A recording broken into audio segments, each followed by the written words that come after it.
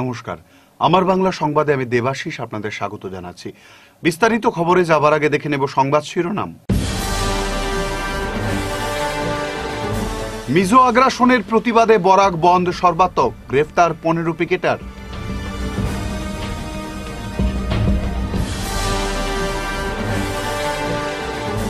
পাকিস্তান জিন্দাবাদ, ধোনি মিথ্যা, মন্ত্রী হিমন্ত বিশ্বের পোস্ট ঢাকল ফেসবুক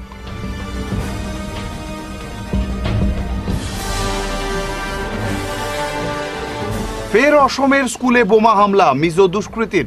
লায়লাপুর সীমান্ত থমথমে।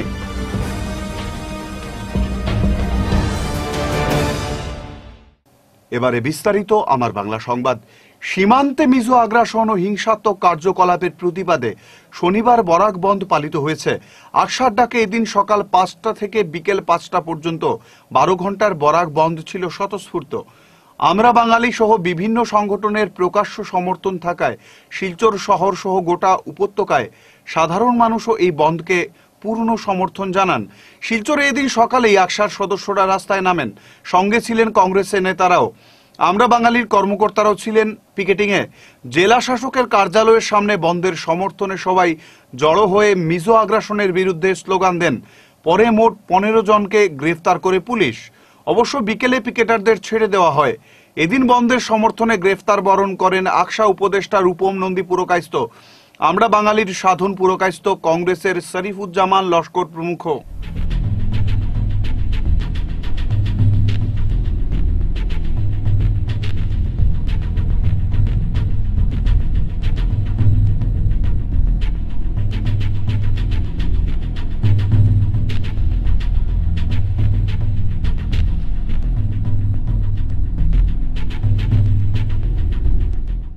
বিভিন্ন সামাজিক সংগঠন এবং যান চালক ও মালিক সংস্থা এদিনের বন্ধের সমর্থন জানানোয় পিকেটারদের বেশি বেগ পেতে হয়নি।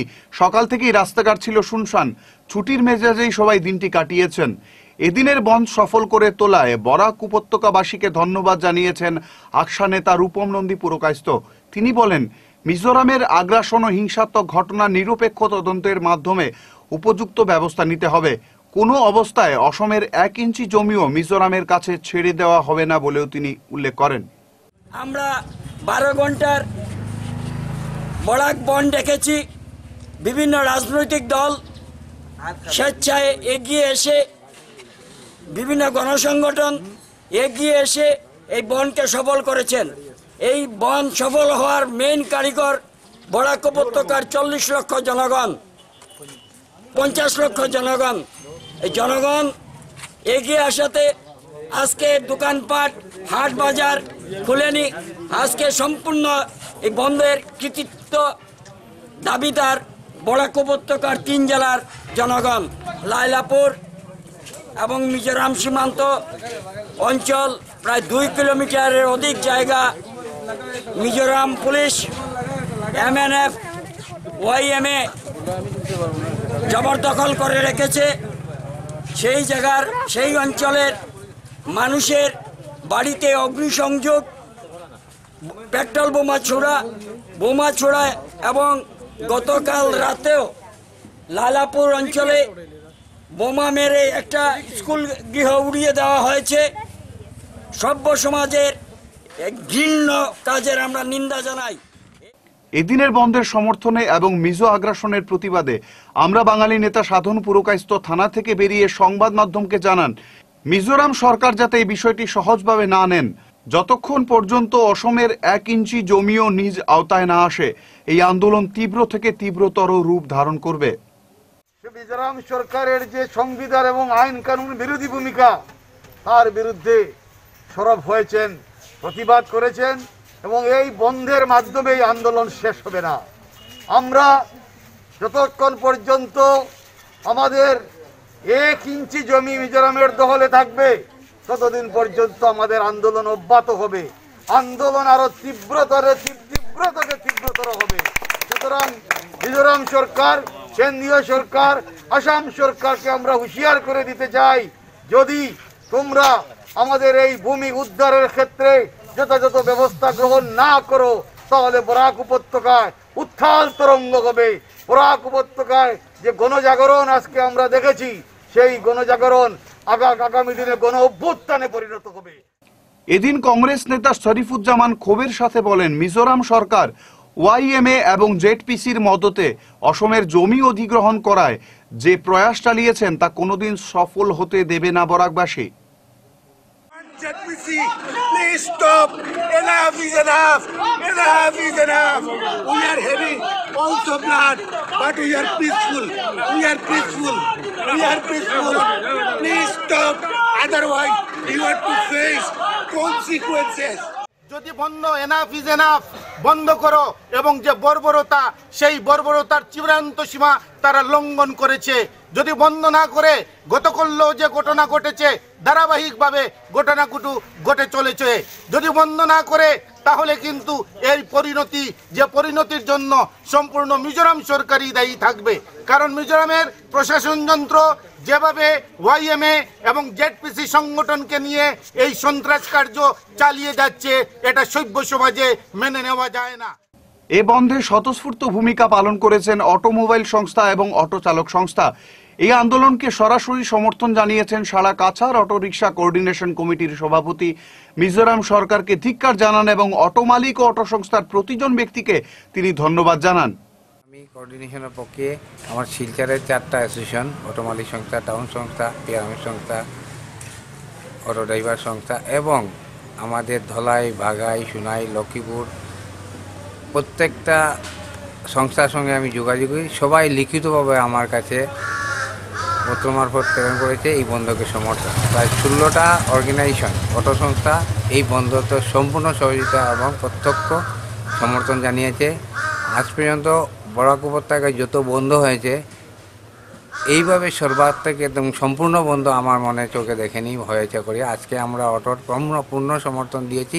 আজকে আকসার বন্ধ, পূর্ণ সার্থক। আমি আমার কোঅর্ডিনেশনের সভাপতি হিসেবে আমার এই ষোলোটা সংস্থার প্রত্যেক সদস্যকে আজকে যে এই বন্ধের সমর্থনে এগিয়ে এসেছে এবং বন্ধকে সফল করে তুলেছে, তার জন্য আমি অসংখ্য ধন্যবাদ মিজোরাম সরকার চার সপ্তাহেরও বেশি সময় ধরে যেভাবে তাণ্ডব চালাচ্ছে, বাড়িতে অগ্নিসংযোগ করেছে, স্কুল ভবন উড়িয়ে দিয়েছে, ইন্তাজ আলী লস্কর নামের এক ব্যক্তিকে নৃশংসভাবে খুন করেছে।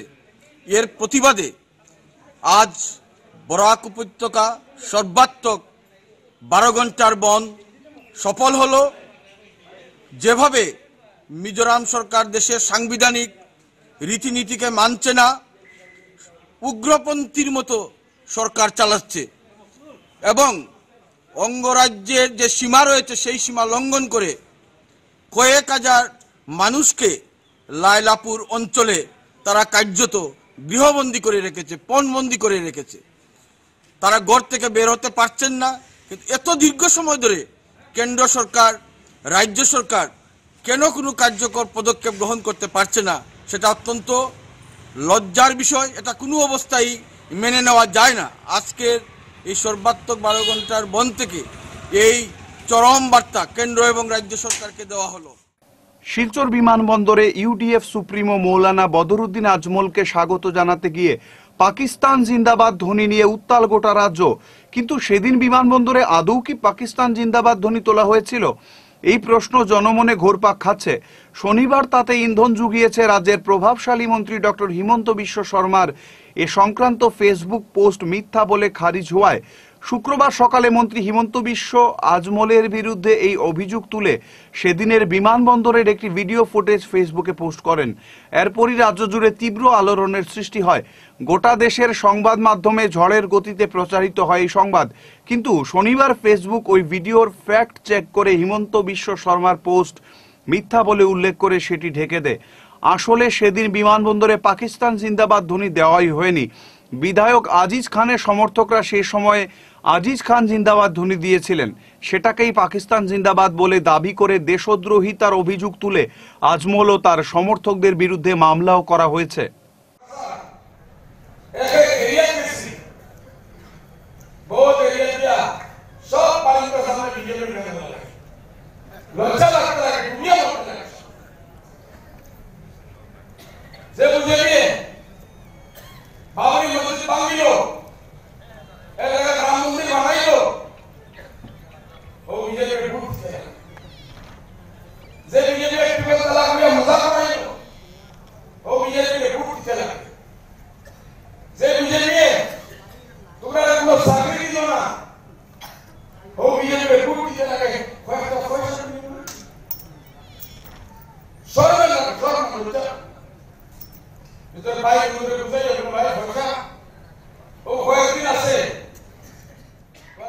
শনিবার একদিকে যখন বরাক বন্ধ চলছিল, অন্যদিকে বিজেপির উদ্যোগে সেই ঘটনার প্রতিবাদে বিক্ষোভ মিছিল বের করা হয়। এতে উপস্থিত হয়ে বিজেপি নেতারা ইউডিএফ সুপ্রিমো বদরুদ্দিন আজমলের দেশদ্রোহিতার নিন্দা ও ধিক্কার জানান।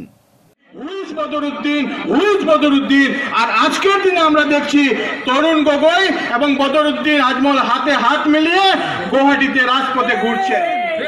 বন্ধুগণ, কংগ্রেস দলের যে অধপতন হয়েছে, কংগ্রেস দলকে আমরা তীব্র ধিক্কার এবং নিন্দা জানাচ্ছি। আজকের এই ধিক্কার মিছিলের মাধ্যমে আমরা বদরুদ্দিন আজমল মহাশয়ের কাছে আমরা অনুরোধ করছি, আমরা দাবি জানাচ্ছি যে আপনি দেশবাসীর কাছে ক্ষমা প্রার্থনা করুন। আপনি দেশবাসীর কাছে ক্ষমা চান যে আমরা এই দেশে বসবাস করেছি। যদি পাকিস্তান মুর্দাবাদ আমাদের সমর্থকরা দিয়েছেন, আমি আপনি এই জন্য ক্ষমা এই দেশবাসীর কাছে প্রার্থনা করা প্রয়োজন। আমরা জানি ভারতীয় জনতা পার্টির বিরুদ্ধে বলা হয় ভারতীয় জনতা পার্টি সাম্প্রদায়িক রাজনৈতিক দল। আমরা ভারতীয় জনতা পার্টি, আমরা মুসলিমের বিরুদ্ধে রাজনৈতিক দল নয়। আমরা সেই মুসলিমের বিরুদ্ধে, যে মুসলিম পাকিস্তানের জয় জিন্দাবাদ দেয় এই দেশে থেকে। কেন্দ্রীয় বাহিনী মোতায়েন হলেও মিজোদের চোখ রাঙানি এখনও বন্ধ হয়নি। লায়লাপুর সীমান্তে এখনও উত্তেজনা বিরাজ করছে। শুক্রবার মধ্যরাতে হাওয়াইতাং এলাকার আপার ফাইলুমে অসমের একটি স্কুল বোমা মেরে উড়িয়ে দেয় মিজো দুষ্কৃতীরা। জানা গেছে, রাত দেড়টা নাগাদ মিজোরামের আইয়ার ভেটেলিনের উপস্থিতিতে আপার ফাইলুম এলপি স্কুলে বোমা হামলা চালায় মিজোরা। এতে স্কুল ভবনটি ব্যাপক ক্ষতিগ্রস্ত হয়েছে। শনিবার পরিস্থিতির খোঁজ নিতে সেখানে ছুটে যান কাছাড়ের জেলা শাসক। পুলিশ সুপার সহ শীর্ষ কর্মকর্তারা বিধ্বস্ত স্কুল গৃহটির অবস্থা তারা প্রত্যক্ষ করেন। সব মিলিয়ে এলাকায় তীব্র উত্তেজনা বিরাজ করছে। সীমান্তে ফের অসমের স্কুলে বোমা হামলার ঘটনার বিস্তারিত খোঁজ নিয়েছেন রাজ্যের মুখ্যমন্ত্রী সর্বানন্দ সানোয়ালও। অন্যদিকে সীমান্তের খুলি ছড়ায় এসএসবি বাহিনী টহল দিচ্ছে। জওয়ানদের জন্য অস্থায়ী ক্যাম্প স্থাপন নিয়েও এখন সমস্যা চলছে বলে সর্বশেষ খবরে জানা গেছে। इमिजिएटली स्पॉट पहुँच गए थे। कार्रवाई जारी है। हमारे हायर अथॉरिटीज़ भी आने को है। ये किसने किया है, कैसे हुआ है, अभी पूरी रिसर्च होगी, पूरी इंक्वायरी होगी। पब्लिक से एक ही रिक्वेस्ट है कि शांति, भद्रता मेंटेन रखें। सबसे पहले हम ही पहुँचे हैं तो हम इस सिचुएशन को बहुत सीरियसली ले रहे हैं, करके बता रहे हैं। तो पब्लिक से यही रिक्वेस्ट है कि कोई अपने हाथ में कोई लॉ ना ले, कोई एक्शन ना ले। शांति, भद्रता मेंटेन करके रखिएगा और थोड़ा पेशेंस दिखाने से इसका अंत तक हम ढूंढेंगे। आप सभी से रिक्वेस्ट है। एंड नो कैजुअलिटी बिल्डिंग खाली था। कोविड के तहत स्कूल बंद था। ये नरसिंहपुर एजुकेशन ब्लॉक का स्कूल है। कछार डिस्ट्रिक्ट का ही स्कूल है। एंड सर्व शिक्षा अभियान का मिड डे मील मिलता था इसमें। तो ये एफआईआर भी अभी लॉन्च होगा। ये बॉम्ब ब्लास्ट के तहत। एंड इसकी आगे की कार्रवाई हम लेंगे। সীমান্তে মিজোদের আতিশয্যের বিরুদ্ধে মিজোরামগামী মালবাহী ট্রেন অনির্দিষ্টকালের জন্য অবরোধ করল কৃষক মুক্তি ও ছাত্র মুক্তি সংস্থার কর্মকর্তারা।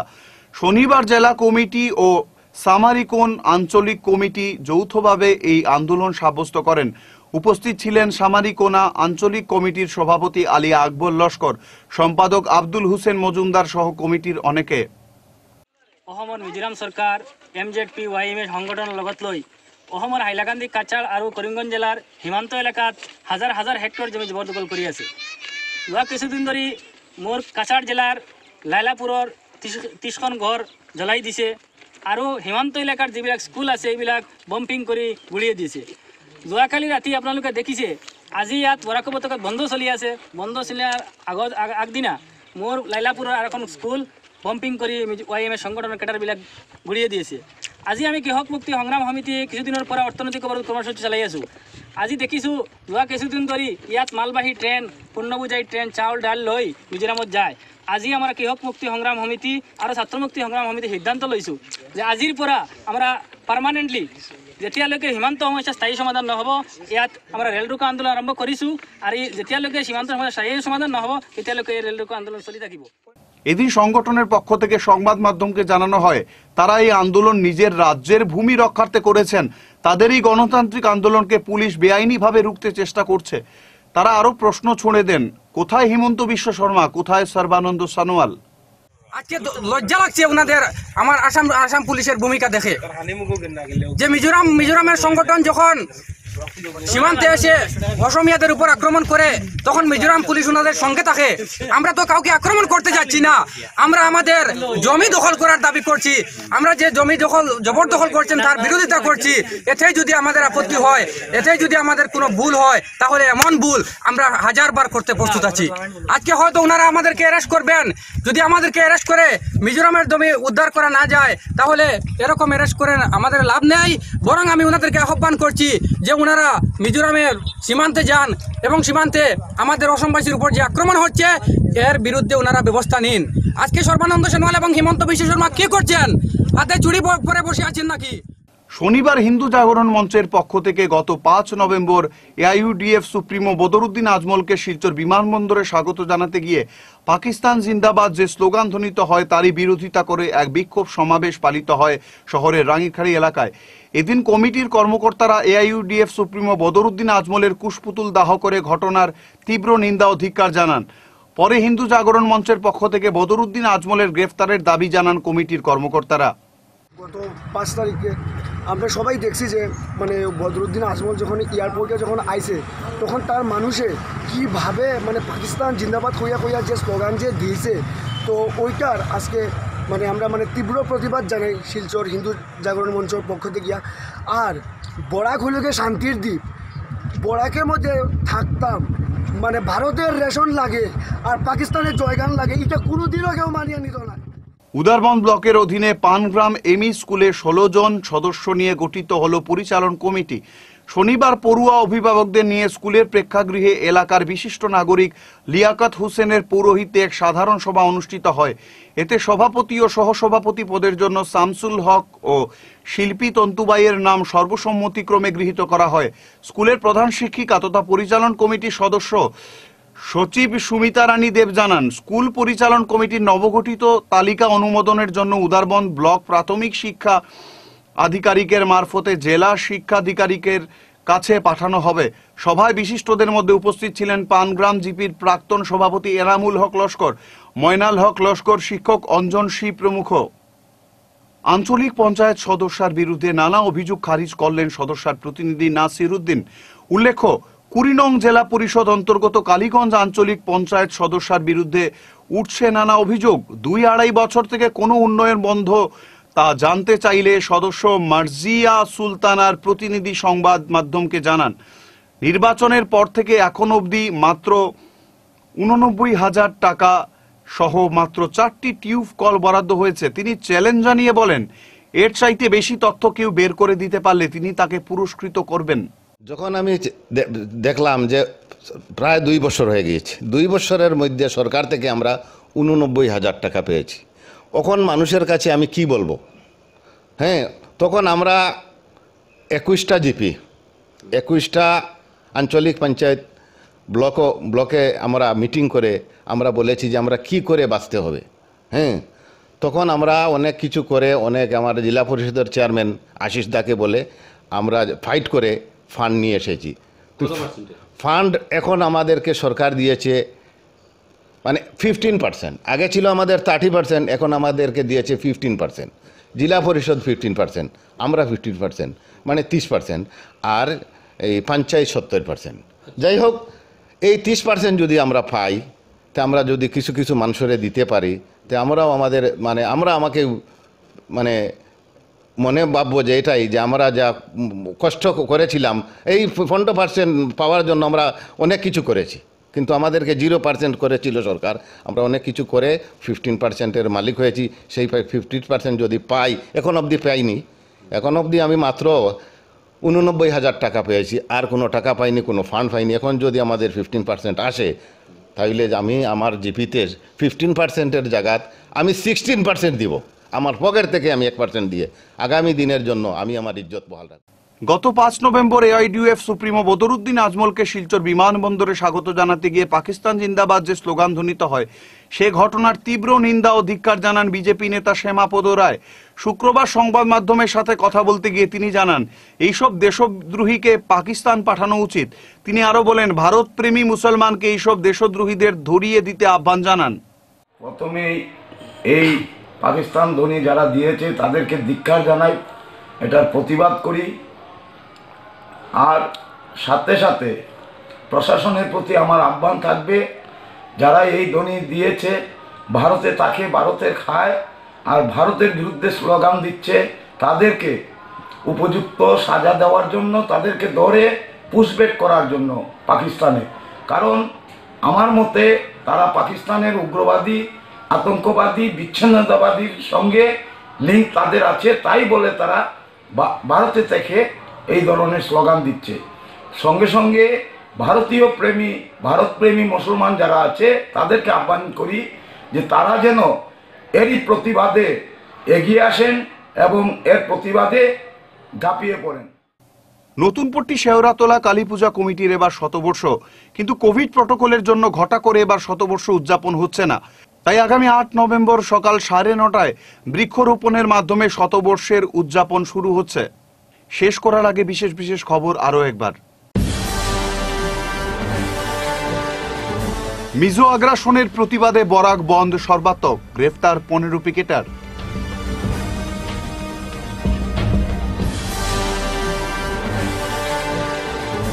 পাকিস্তান জিন্দাবাদ, ধনী মিথ্যা, মন্ত্রী হিমন্ত বিশ্বের পোস্ট ঢাকল ফেসবুক।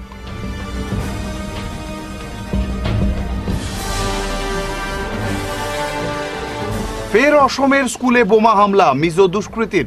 লায়লাপুর সীমান্ত থমথমে।